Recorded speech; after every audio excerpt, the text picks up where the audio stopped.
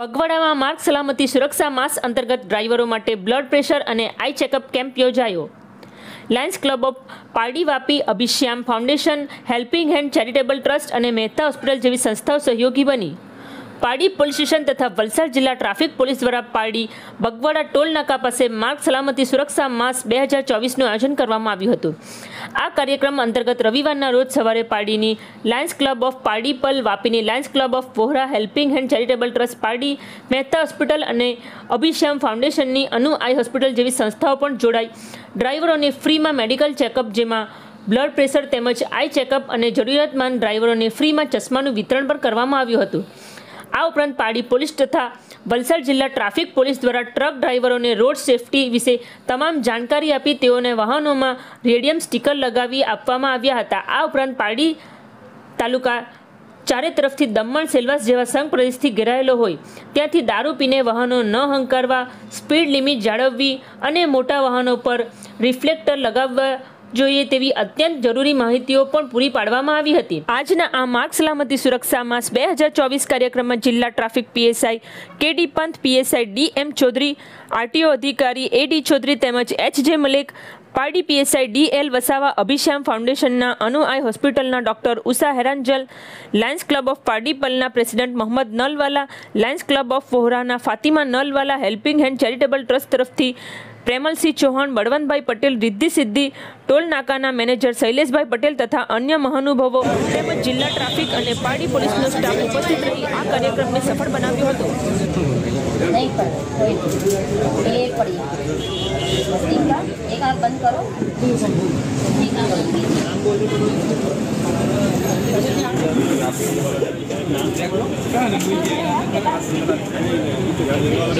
વલસાડ જિલ્લા પોલીસ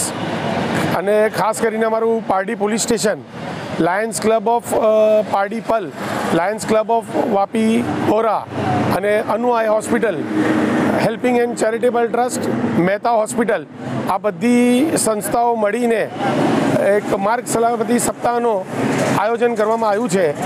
જેમાં ખાસ કરીને અમારા પારડી પોલીસ સ્ટેશનનો બહુ જ સહયોગ રહ્યો છે અને આ અંતર્ગત અમે free medical champ checkup camp જેમાં કે બ્લડ પ્રેશર આઈ ચેકઅપ અને બ્લડ પ્રેશર આ બધું ડ્રાઈવરોનો ચેકઅપ કરી અને માર્ગ સપ્તાહ અને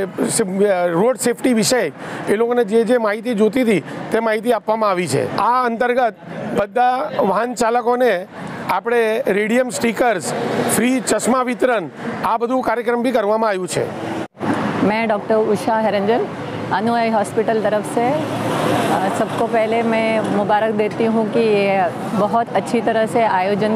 ટ્રાફિક सेफ्टी के लिए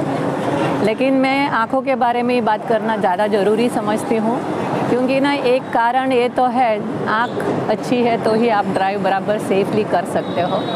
कभी कभी क्या होता है तीन चार फुट तक तो हमको तो ऐसे भी दिखते रहता है जिनको चश्मा है फिर भी वो चलाते रहते हैं डिस्टेंस विजन उनकी अच्छी नहीं रहती है एक कारण यही है तो एक्सीडेंट का है लेकिन रूटीन चेकअप के हिसाब से सबको हमारी विनंती है सब ड्राइवर लोगों को ऐसे तो लाइसेंस देने के पहले तो चेकिंग तो हो ही जाता है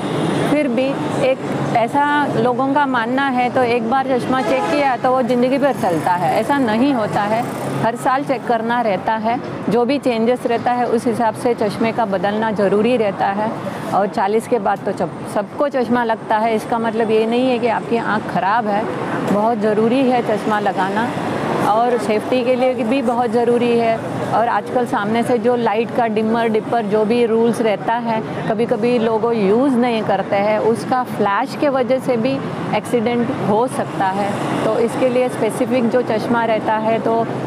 डॉक्टर के सलाह के हिसाब से अपने आँखों के रोशनी बचाने के लिए भी आप यूज़ कर सकते हो सबसे यही विनंती है कि रेगुलरली आप चेकअप ज़रूर कराओ और आँखों के सलामती के लिए हेल्थ के लिए जो भी हेल्दी फूड रहता है ग्रीन वेजिटेबल सैलड्स फ्रूट्स वो भी ज़रूर अपने डाइट में इंक्लूड करो ताकि आपको कभी भी अपने आँखों के बारे में ज़्यादा सोचना ना पड़े नज़र अच्छी रहे अपना भी बचाव के लिए और सामने वाले के भी बचाव के लिए आप ज़रूर ज़रूर अपने रेगुलर डाइट में ये सब यूज़ करो और रेगुलर चेकअप करो यही मेरी विनती है